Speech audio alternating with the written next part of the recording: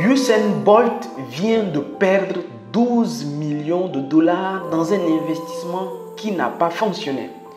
Ce n'est pas une surprise parce que ce n'est pas la première fois que nous entendons ce genre d'histoire-là. Les gagnants de l'auto, les basketteurs de la NBA, des stars de foot, des stars partout ont déjà vécu plus ou moins ces mêmes situations. Ces genres de situations où les personnes gagnent beaucoup d'argent, mais en espace de quelques années, ils perdent tout. On va se poser la question comment cela est possible? Oui, dans cette vidéo, je vais vous parler d'intelligence financière et comment dompter l'argent.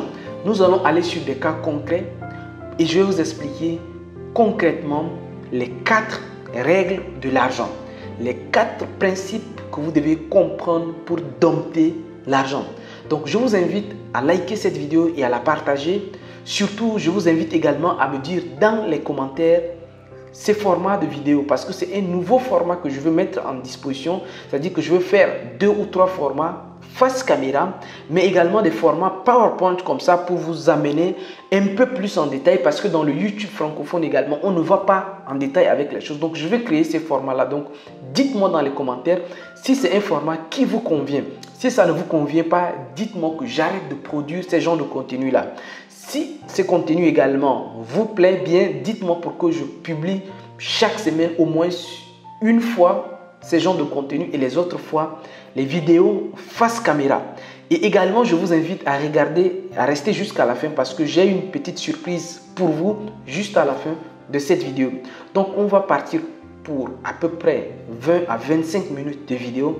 Donc, je vous invite vraiment à vous asseoir et à regarder ces contenus-là. Normalement, ces genres de formations que je suis en train de vous donner, ce sont des formations payantes, mais la générosité de vivre et réussir en Afrique et de Justin, voilà, voudra que on partage ces, ces genres de contenus de très forte valeur avec vous gratuitement sur cette chaîne. Donc, on va tout de suite au sujet de la vidéo. Et pour commencer, nous allons revenir sur une histoire similaire à celle de Usain Bolt. Mais cette histoire s'est passée dans les années 90 avec un monsieur que vous connaissez peut-être très bien. Il s'agit de MC Hammer. MC Hammer est l'un des rappeurs les plus prolifiques des années 90 et d'ailleurs l'un des rappeurs les tout premiers à devenir vraiment riche grâce à des contrats de parrainage et surtout ses tournées internationales avec des gros cachets. MC Hammer a comme ça vendu plus de 300 millions d'exemplaires aux États-Unis et est devenu l'album le plus vendu de tous les temps. Il a également remporté de nombreux trophées, surtout au début des années 90, et s'est retrouvé avec plus de 33 millions de dollars en 1991. Je vais vous poser une question très simple. À votre avis, qu'est-ce que vous allez faire avec ces 33 millions de dollars? 33 millions de dollars, c'est à peu près 30 millions d'euros. Et si vous convertissez en francs nous sommes autour de 17 ou 20 milliards. Alors, qu'est-ce que vous, vous faites avec toute cette somme-là? Qu'est-ce que vous en faites avec? Alors, je vais vous dire concrètement ce que MC Hammer a fait avec son argent. MC Hammer a acheté une grosse maison avec beaucoup de chambres. Alors, la plus grande maison qu'il a achetée faisait 12 chambres à Fremont, c'est à Fremont, c'est en Californie, qui comprenait une salle de cinéma, une piscine, terrain de basket, même terrain de golf. Et il a acheté beaucoup d'autres propriétés comme ça, de maisons qui lui ont coûté 12 millions. Donc, il a investi comme ça 12 millions dans ses résidences principales. Il vivait un peu partout dans les États-Unis avec 12 millions juste pour s'acquérir des résidences principales. Il a également injecté 5,3 millions de dollars, bien sûr. Donc tout ça, ce sont des millions de dollars. Il a acheté de nombreuses voitures de luxe pour faire des tournages de ses clips avec. C'est ce qu'il a fait avec son argent. Il a également mis 3 millions pour s'acheter un hélicoptère. Il a enfin recruté et engagé plus de 200 personnels de maison pour l'entretien de ses différents biens immobiliers. Parce qu'il a des grandes propriétés, il a des maisons, ainsi de suite. Et pour cela, il a fallu 200 personnels de maison pour l'entretien des maisons, ses terrains de golf, l'entretien de ses voitures, ses jardins, pour les courses, ses gardes-corps, ainsi de suite. Plus de 200 personnes qui travaillent. Alors, c'est pas fini il a injecté 1,2 million de dollars dans les animaux de compagnie. Il a acheté des chats très chers, des chiens, des chevaux, ainsi de suite, très très chers, pour s'accompagner. Et il a également fini par investir sur les 30 millions, 33 millions de dollars. Il a investi 4 millions dans, un, dans une entreprise. Il a investi ça dans une entreprise qui a fait faillite par la suite. Résultat de course, on arrive à 13 millions de dettes. Donc, il s'est retrouvé un peu plus tard avec plus de 13 milliards de dettes. Il a revendu la plupart de ses propriétés pour assurer son train de vie finalement qui n'a pas tenu et il est redescendu très très bas, au, bas vraiment, au bas de l'échelle, tant bien qu'il a vraiment voulu se battre pour se relever. Malheureusement, ces genres de situations, c'est très douloureuse, très difficile à se relever de ces genres de situations. Pourquoi je vous raconte cette histoire? Je vous raconte tout simplement cette histoire pour vous dire que dans la vie, tout est question d'intelligence financière si on parle d'argent. Quand on veut parler d'argent, on veut parler d'intelligence financière. Et dans cette vidéo, je vais vous présenter c'est quoi l'argent. L'argent et toi. Je vais vous présenter après les mentalités financières et surtout les quatre règles d'intelligence financière. Et après, vous pouvez nous contacter. On vient de planter comme ça le contexte. Donc, l'argent et toi. Ce qu'il faut savoir, c'est que votre vie a trois étapes. Nous avons une première étape, une deuxième étape et une troisième étape. Que vous le voulez ou pas, je ne sais pas quoi vous dire, mais prenez comme vous voulez, vous avez trois étapes dans votre vie. Dans la première étape de votre vie, c'est l'étape où vous arrivez dans la vie, je peux dire que c'est l'étape de 0 à 18 ans. Alors, peut-être un peu plus, peut-être un peu moins, mais de 0 à 18 ans pour la plupart des pays. Dans cette étape-là, vous pouvez accuser tout le monde. Dans cette étape de la vie, vous pouvez remettre le tort sur le dos de vos parents, de votre gouvernement. Vous pouvez accuser tout le monde. Oui, je suis issu d'une famille pauvre. Parce qu'un enfant de 8 ans qui dit que oui, euh, mon papa n'a rien, ça se comprend. C'est une explication qu'on peut comprendre. À cette époque-là, on est tous venus comme ça. La vie a été injuste parce que il y a certaines personnes, dès la naissance, ils naissent dans des familles où il y a beaucoup, il y a déjà tout, il n'y a pas d'effort. Il suffit de faire comme ça, cliquer les doigts ou bien juste claquer un doigt pour avoir ce qu'on obtient. Donc, nous sommes dans cette phase-là où c'est injuste parce que comment déjà de naissance, certains vont avec 2 ou 3 km d'avance sur un marathon de 100 mètres. On commence la vie avec certaines personnes qui sont déjà placées à 90 mètres devant nous et nous, nous sommes à zéro. Donc pour arriver à 100 km, pour arriver sur les 100 mètres, il leur faut juste faire 10 pour certains, ils sont déjà même placés au point d'arriver. Mais beaucoup commencent avec moins 100 en arrière. Mais c'est comme ça la vie. La vie est injuste. Au départ, la vie est injuste. La vie est injuste au départ. Je vous l'accorde. Nous ne sommes pas tous issus des familles riches. Ce n'est pas tout le monde. Nous autres, on est partis de moins quelque chose. D'autres sont partis de plus quelque chose. Et c'est comme ça la vie, malheureusement. Au départ, dans la première étape, c'est une étape où tout est injuste. Nous sommes nés vilains. Nous sommes nés partout. Ceux qui sont nés dans des crèches, d'autres qui sont nés dans des hôpitaux, d'autres sont nés à la maison, d'autres sont nés dans, sous des arbres. C'est injuste cette première étape-là. On n'y peut rien parce que la vie, elle est faite comme ça. On est tous nés comme ça. D'autres sont nés déjà que dès la naissance, ils ont des passeports pour voyager. Mais c'est comme ça la vie. La vie et votre vie commencent de façon injuste. Peut-être que vous venez dans la vie avec un avantage sur les autres. Parfois, vous venez dans la vie avec un défaveur. Donc, c'est comme ça la vie. C'est votre première étape. L'étape, la première étape de votre vie, c'est une vie injuste. Mais dans la deuxième étape de la vie, c'est une vie de décision. C'est toi qui décides. Que tu viennes d'une famille riche ou pauvre, à cette étape, la vie et la décision te reviennent. Ta vie va ressembler à la décision que tu as prise.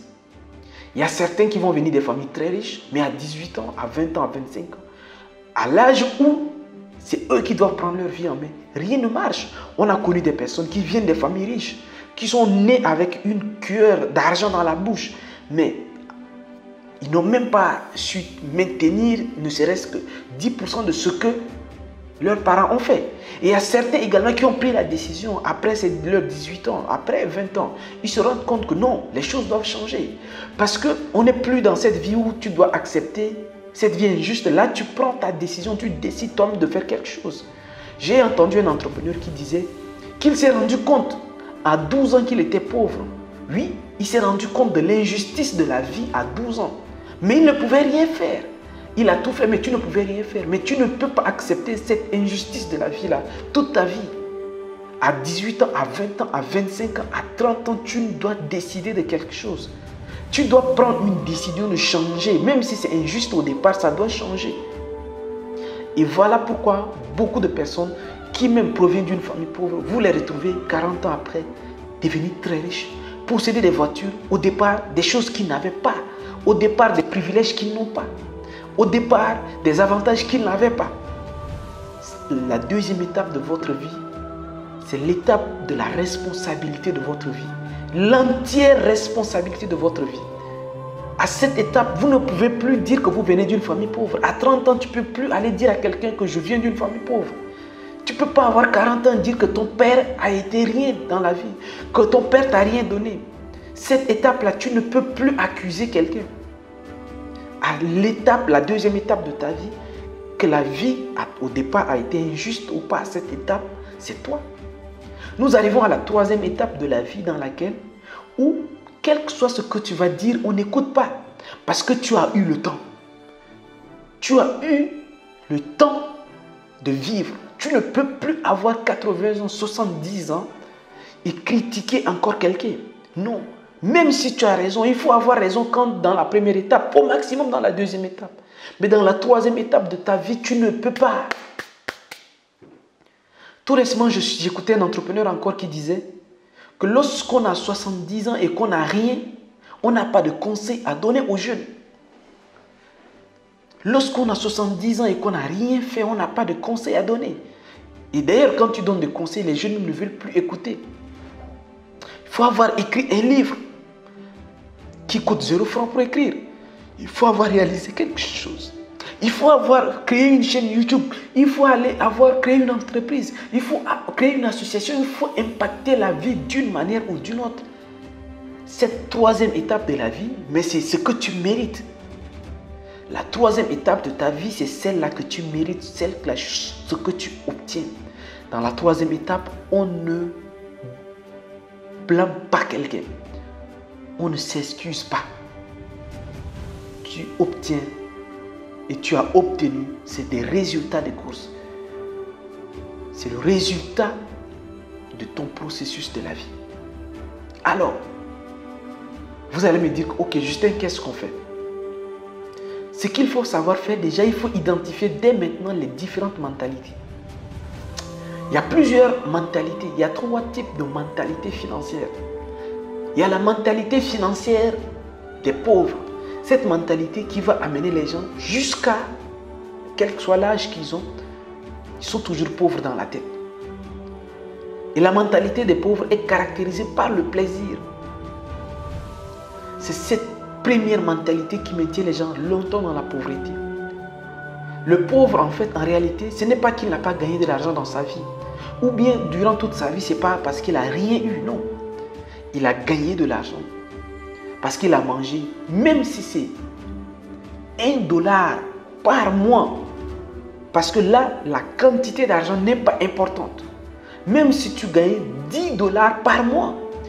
Parce que le pauvre, il va toujours se dire qu'il n'a pas d'argent. Donc le jour où il aura le minimum de 5 dollars, 10 dollars, il va aller se faire plaisir. Il va aller acheter des choses qu'il n'a jamais achetées. Comment on se retrouve avec des pauvres qui ont des télévisions chez eux? On se retrouve avec des pauvres qui ont des téléphones iPhone, qui ont des Android, qui se connectent tout le temps. Vous êtes pauvre et vous avez des, connexions tout le temps. Vous n'avez pas d'argent. C'est une mentalité. C'est une mentalité. Le fait d'avoir un peu et vouloir autre chose plutôt que de se faire plaisir. Acheter tout le temps de nouveaux habits, ainsi de suite. C'est la mentalité des pauvres. Se faire plaisir tout de suite. Parce que la pauvreté, ce n'est pas une question d'argent. C'est une mentalité de se faire plaisir, même si on n'en a pas les moyens. La deuxième mentalité, c'est la mentalité de paraître ou bien de la classe moyenne. Tout ce qu'il faut, ils en ont. Mais souvent, c'est des problèmes pour payer le loyer, le crédit de, la voiture qu'ils ont pris, crédit pour s'endetter, crédit pour tout. Et vivre sous une pression financière, ça c'est une mentalité caractéristique de la classe moyenne. vouloir paraître.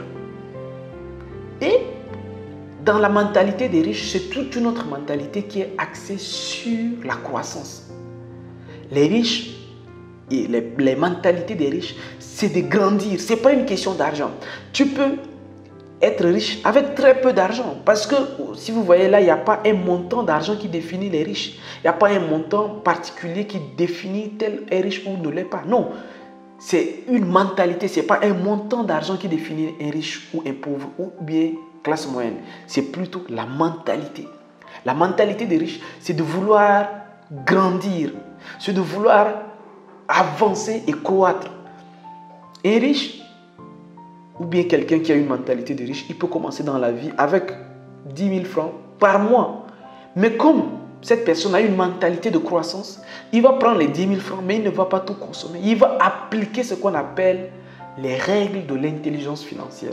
Dans cette vidéo, je vais vous présenter rapidement quatre règles de l'intelligence financière. La première règle de l'intelligence financière, c'est de faire ce qu'on appelle le tracking. Le tracking, c'est de calculer ou bien c'est de voir et mettre sur papier chaque jour, chaque semaine, tous les mois et chaque année ce que tu gagnes et ce que tu sors. C'est simple.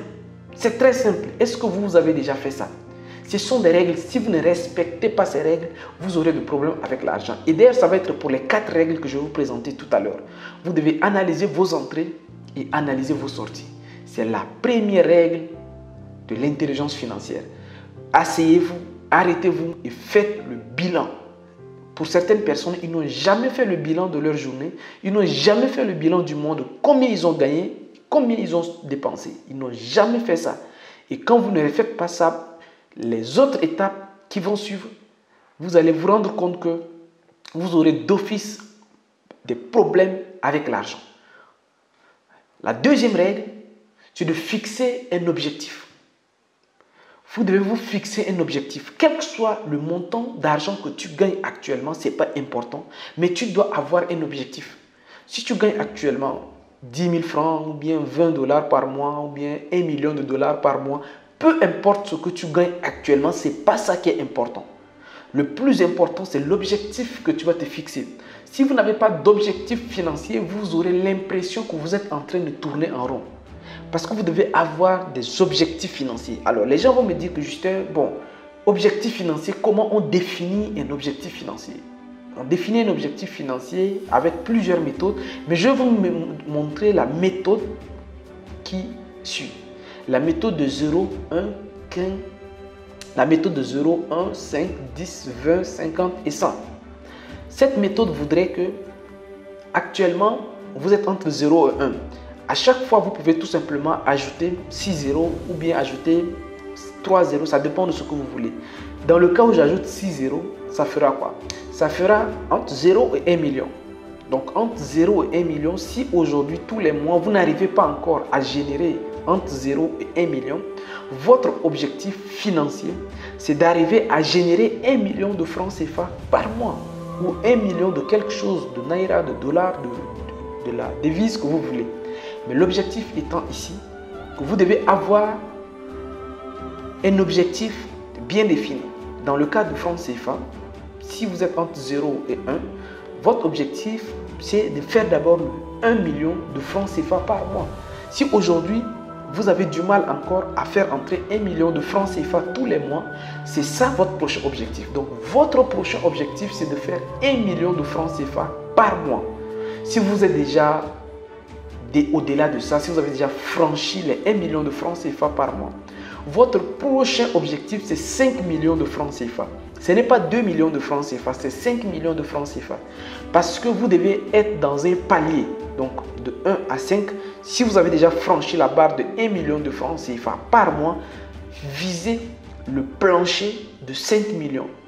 Et si vous arrivez à faire déjà 5 millions régulièrement par mois, ce n'est pas tous les mois parce qu'en tant qu'entrepreneur, ce n'est pas tous les mois, ce n'est pas régulier. Vous pouvez faire 1 million ce mois, si le mois prochain fait 4 millions, après descendre à 2 millions, ainsi de suite. Mais vous êtes régulièrement dans cette fourchette. Et si vous franchissez la fourchette où le minimum c'est 5 millions par mois que vous faites, vous devez viser les 10 millions. Et c'est comme ça. Et si vous êtes fait régulièrement 10 millions, vous devez viser les 20 millions, les 50 millions, ainsi de suite. J'ai beaucoup d'amis qui sont sur des paliers de 100 millions, qui vendent des voitures à Dakar, qui vendent également de, des terrains, de, des terrains agricoles, des hectares. Ils sont dans ces genres de, Voilà, il suffit pour lui de faire 3-4 opérations dans le mois pour dépasser les 50 millions. Voilà, il y a des amis qui sont dans ça. Il y a d'autres qui sont dans la recherche de faire 1 million par mois. Mais vous, consciemment, asseyez-vous et établissez, établissez, vous êtes dans quel intervalle? Que cela soit vraiment clair. Troisième, quel que soit l'argent que vous allez gagner, la règle, je ne sais pas si c'est même une loi, c'est que l'épargne doit être systématique. L'épargne, c'est quelque chose de systématique. Je dis bien systématique. Du genre que ça devienne une réflexion. Eh, bon, pas une réflexion, que ça devienne un réflexe. Du genre, même pas un, réflexe, je ne sais pas. Est-ce qu'il y a un mot même plus que ça? Dès que tu gagnes 10 000 francs, automatiquement, que cela soit automatique, que tu réfléchisses même en pilote automatique. C'est-à-dire que dans ta tête, il s'il y a même un logiciel de programmation du virement de tes, de, tes, de tes revenus, il faut que cela soit automatique, systématique on ne réfléchit pas d'abord. Tu ne peux pas dire que non, j'ai gagné 100 000 francs aujourd'hui, donc, ou bien c'est moi-ci. Bon, comme j'ai beaucoup de problèmes, euh, je vais, c'est moi-ci, je ne vais pas épargner. Et puis c'est le mois prochain que je vais me rattraper et épargner pour les deux mois. Non, ça ne fonctionne pas comme ça. L'argent que tu gagnes, si tu n'as pas gagné dans le mois, ça se comprend. Mais tout ce que tu as gagné dans le mois, il faut que l'épargne soit systématique. Systématique. Je dis bien systématique. Moi, le plus important, selon moi, dans tout ce que je connais en termes d'intelligence financière, l'élément le plus important, c'est l'épargne. Mettre de l'argent de côté. Dès que je gagne un petit montant, premier réflexe, c'est mettre de l'argent de côté. Mettre de l'argent de côté. Ce n'est même pas pour moi c'est parce que l'argent doit être décoté. Il y a une ethnie au Tchad qui achète tout le temps des semences. Elle dit que chaque année, s'ils récoltent, ils vont récolter 10 sacs, ils vont finir de consommer les 10 sacs. Et à l'approche, ils vont aller acheter encore la semence. En fait, si vous n'avez pas ces réflexes, vous n'êtes pas plus intelligent que ces villageois qui pensent d'abord, parce que c'est comme ça, nous les fils des paysans, parce que moi je suis fils des paysans, nous les fils des paysans, voici comment nos papas y réfléchissent. À la fin de la récolte, avant même, avant même, je dis bien au champ, avant d'amener à la maison, au champ d'abord, le papa, il prend le soin de prendre les bonnes graines qui vont servir de semences. On fait d'abord le tri de la sémence et le reste maintenant, on va mettre dans des sachets pour vendre ou bien pour amener en ville et vendre. Mais le réflexe, elle dit que dès la récolte, la première chose, c'est de trier la sémence de l'année prochaine. C'est comme ça. Et moi, c'est devenu systématique dans ma tête. Je ne peux pas gagner de l'argent et faire un plan sur cet argent-là avant d'avoir épargné. Ce n'est pas possible. C'est pas possible. Quel que soit le montant qui, qui entre dans ma main, je vois d'abord combien je dois mettre de côté avant de faire quoi que ce soit. Très important. Quatrième règle, vous devez savoir que l'investissement, c'est une compétence. Vous devez apprendre à investir. Apprendre à investir. C'est pour cela qu'on dit que l'épargne, c'est un comportement. Donc, si vous n'avez pas un comportement d'épargnant, si vous n'avez pas ces comportements, c'est un comportement. Mais l'épargne, c'est une compétence. Il faut développer les compétences d'épargne. Si vous avez par exemple d'épargne, quelque part, vous devez commencer à investir. Et pour investir, vous devez vous former à ça. Vous devez développer des compétences et des aptitudes. Vous devez voir comment vous allez investir pour que d'ici quelques années, euh, que vos avoirs se multiplient. Et d'ailleurs, c'est un peu ça l'objectif de vivre et réussir en Afrique. Aujourd'hui, on accompagne beaucoup d'investisseurs à investir dans des biens sécurisés, à investir surtout dans l'immobilier où nous nous activons énormément ces derniers temps. L'immobilier, le transport, nous sommes en train de nous activer énormément dans ces deux secteurs d'activité-là, à Dakar, à Abidjan et à Ouagadougou, dans l'immobilier, le transport à Dakar. Voilà, vous devez investir dans, dans, dans, dans l'agro-business, dans des choses qui, d'ici quelques années, un an, deux ans, cinq ans, que à l'année 1, que ça monte à l'année 2, l'année 3, ainsi de suite, et que d'ici cinq ans, vous, vos revenus vont grandir.